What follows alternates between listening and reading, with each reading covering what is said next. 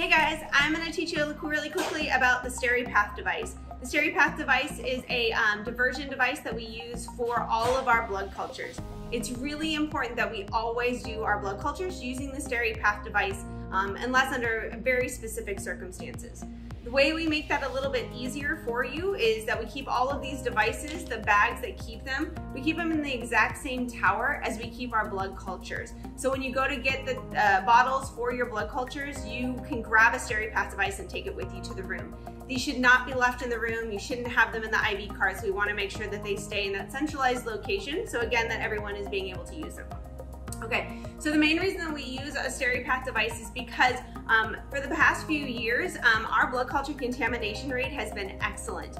But prior to that, our blood culture contamination rate was higher than most of the national average. We were anywhere between 3 and 5% any given month with an overall average of about 3.5%. So that's a lot of patients who were having contaminations who didn't need to have contaminations.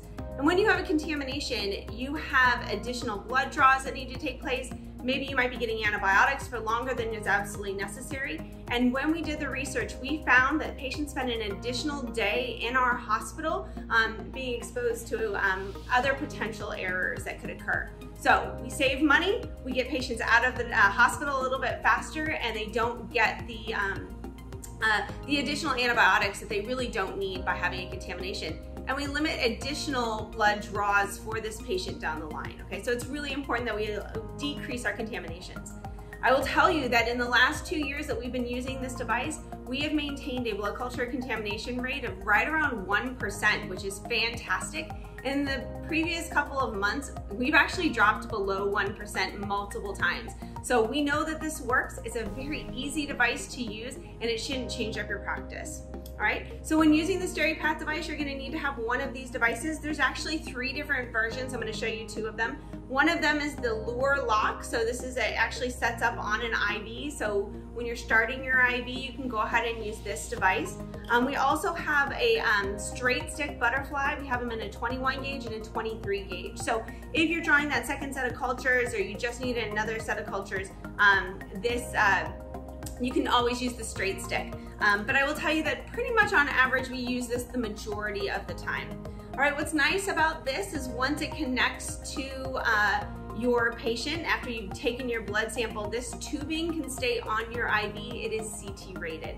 All right, um, just really quick, what you have here is you obviously have the tubing, and then within this device itself, you have a little tube, and I know it's kind of hard to see, but on the inside of here, you have a tube that will draw and hold about um, one to two mLs of blood. We call that the diversion. Um, what's important about it is that when I'm cleaning my arm, and I do a great job of cleaning my arm, maybe I don't even touch it again, I do all the things right, I'm still only cleaning about the first five or so layers of skin, and there's a lot more layers underneath there. And when I take a cord needle or an IV and I stick my patient, I actually get what we call a skin plug. And initially, before we started using the SteriPath device, that skin plug would end up in our first set of cultures. And so we don't want that potentially uh, contaminated skin plug to end up into one of our cultures. So that's where this device has really become um, a good benefit for us because that skin plug ends up in the diversion.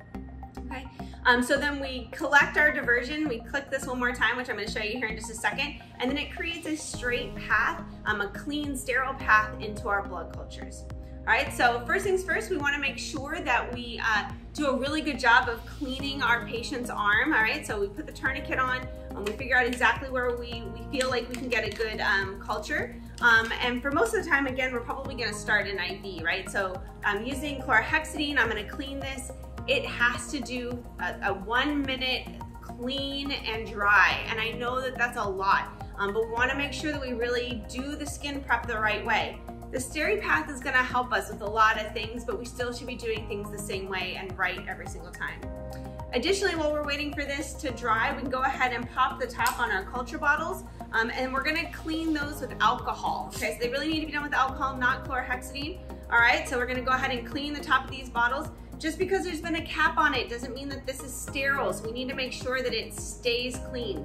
Now what I see a lot of times is people leave the alcohol piece on top and they walk away from it. but it's the drying process that helps with the um, decreasing the contamination. Okay, so it is very important that after you clean it, and again, you should do a good clean on it, you actually should set it aside without the alcohol on it.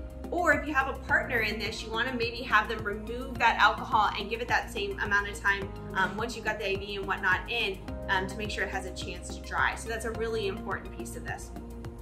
The other thing that a lot of people do, and I encourage you to do with your blood culture bottle, is to mark it at the 8 to 10 ml mark.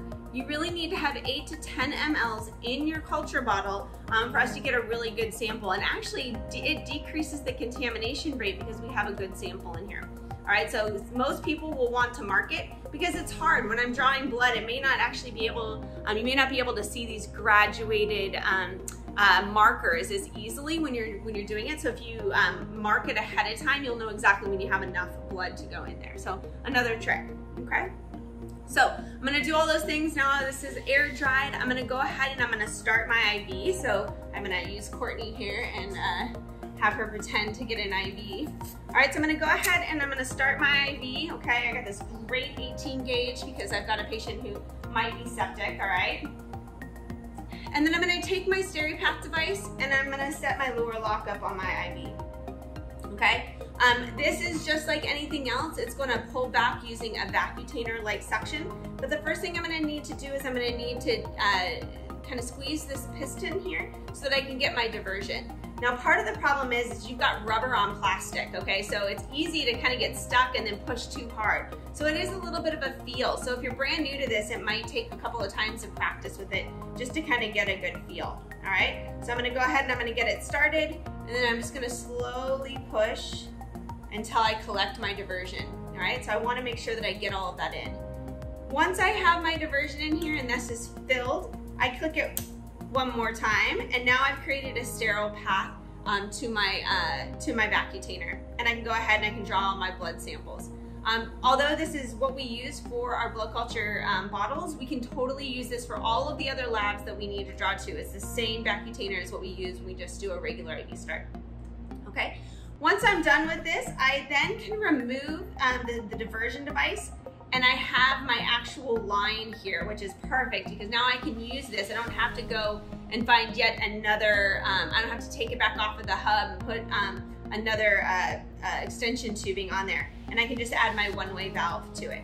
All right, so this works out really well. Again, same kind of process if you're gonna be using the, the butterfly version, except it would be a straight stick, and when you were done, you would just pull it out. Um, but a lot of people like using the Luer Lock because they feel more comfortable using the IV start versus the butterfly.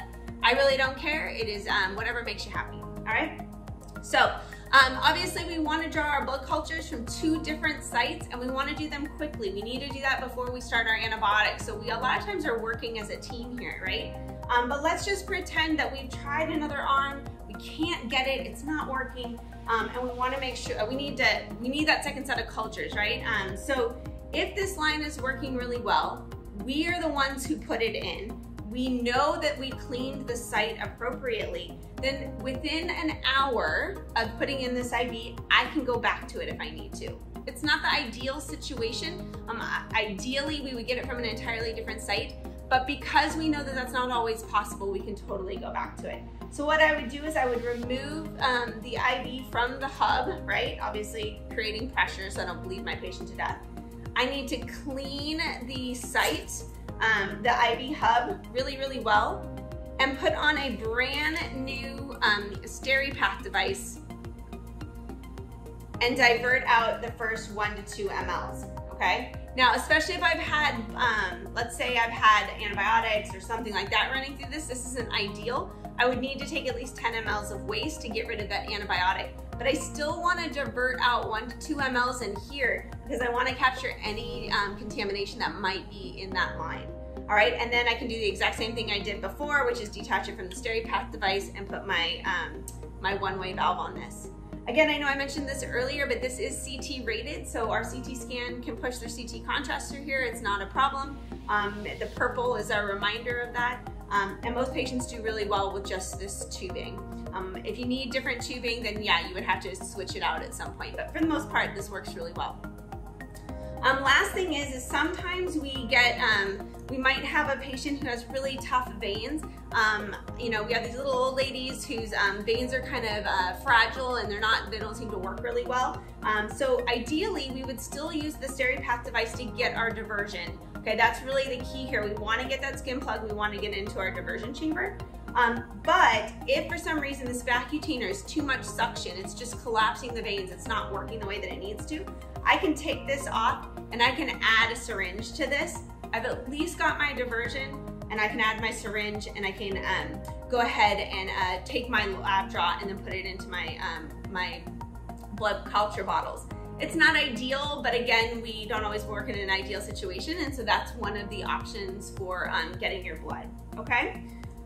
Once you have your blood in this container, um, you wanna make sure that you take the large um, sticker um, that goes with this uh, uh, blood culture contam or blood culture bottle and put it on the bottle. And obviously you're gonna have two large stickers, so you're gonna put these two together.